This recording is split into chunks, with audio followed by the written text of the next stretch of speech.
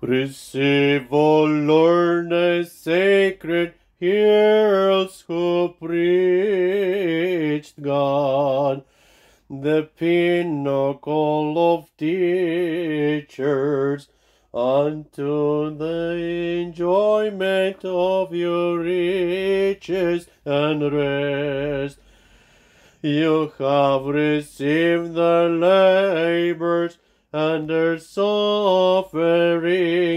as being above and beyond all fruitful offering.